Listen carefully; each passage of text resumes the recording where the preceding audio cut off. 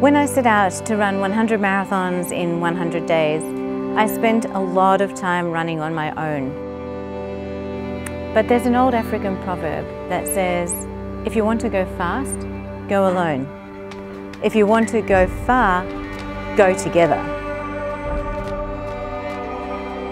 The Running Dry movement has shown me the power of joining together our global community, of uniting our voices and our feet for one reason, to make saving water so famous is not just the right thing to do, it's the only thing to do. To demonstrate our commitment, we're challenging our global community to go a step beyond 100 marathons in 100 days and to run 100 marathons in just one day for one reason, water.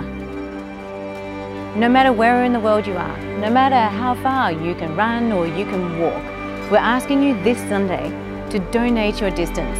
Go online on social and post with a hashtag running dry. Let's make our steps count towards raising awareness about our global water crisis. Together, we can do it.